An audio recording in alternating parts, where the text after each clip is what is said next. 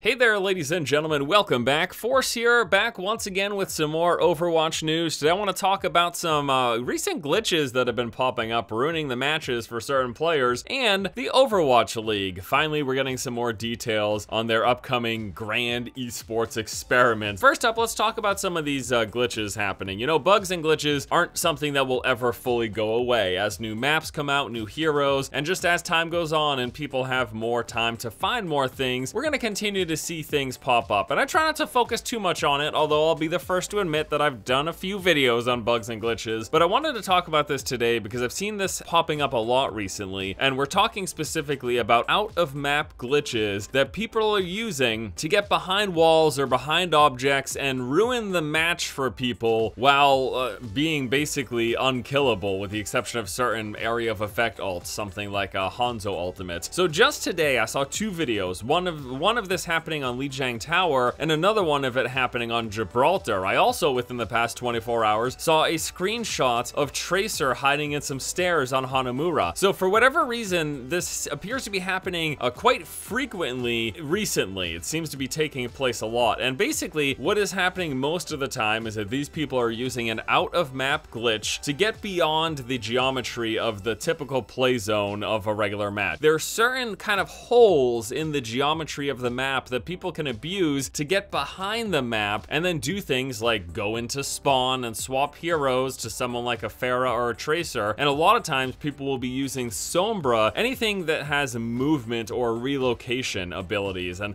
a popular one is Sombra's Translocator. And again, we'll use that to get behind the typical geometry of the, of the play area, maybe even in the spawn area, swap heroes, and then move to another part of the map. At that point, they're able to, a lot of times, times shoot from behind walls or behind objects, killing people while being, again, almost unkillable with the exception of certain abilities or certain ultimates. This kind of stuff, as I mentioned at the top, it's never gonna really stop happening, especially with the introduction of new maps, and as time goes on, it's worth noting because, again, for whatever reason, recently it's been happening a lot, and we need to make people aware that if this happens, please, please, please report. This is in almost, I would say 99.9% of cases cases exploiting. You don't stumble into this. You don't accidentally end up behind the geometry and then at a wall where you can shoot the opposing team. In many cases, in most cases, it's something they've done on purpose. They're trying to get an unfair advantage and you need to report them so that Blizzard can deal with it. Now, obviously, those of you out there playing on the console, there's no in-game reporting system, but you do have console-wide reporting systems on the PlayStation and the, on, on the Xbox as far as I'm aware. So make use of those those. Take advantage of those. Report them in any method that you can. You can also report to Blizzard officially from their site. Uh, there's a reporting function on the Blizzard website. I'll give you guys a link to that in the description below. But yeah, this has been happening a lot. It's kind of a pain in the ass. Uh, we just have to deal with it and report it when we see it. Uh, now, next up, I want to talk about something that's actually happened last week, but I never ended up discussing it in any videos, and that was the first kind of big announcement from the Overwatch League. Basically, they announced their first seven teams teams Boston, New York, San Francisco, Los Angeles, Miami, Orlando, Shanghai, and Seoul. Now, there are going to be more teams worldwide that will be announced in the future. Obviously, with this announcement, you'll notice a distinct lack of uh, Europe or many other parts of the world. So, more teams will be coming and introduced to the Overwatch League. These were just the first seven that they announced. If I were to make a guess, I would say these are the first seven they announced because these were the first seven to be absolutely 100% confirmed, to pay their dues, if you will. You have had to pay to buy in to purchase a team. I, I, I believe the buy-in for Los Angeles was something like $20 million. So it's not like they're paying like, hey, guys, give us a $1,000 and you can register your own Overwatch team. No, it's a sizable chunk of money and that money will go towards player salaries, paying for insurance, paying for any infrastructure, their housing, all of this stuff for some duration of time. So first seven teams are announced. It's a pretty cool thing. You know, I am kind of cautiously looking forward to the Overwatch League. Overwatch, I've said this time and time again. As much as I love the game and I play it and enjoy it as a casual fun experience, it's ever been a game that I thought was terribly fun to watch in the competitive aspect. There's a lot of games that I enjoy watching the professional scene. Uh, Dota, Counter-Strike Go, even League of Legends.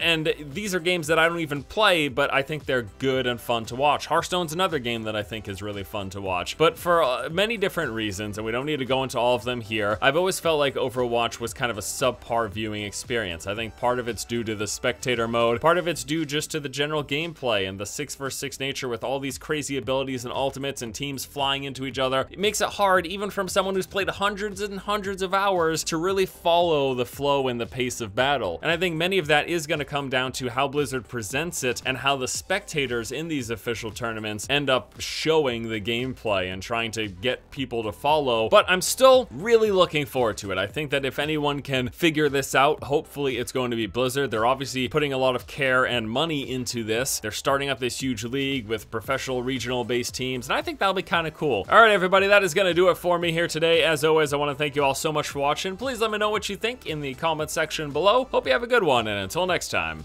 I'll see you later.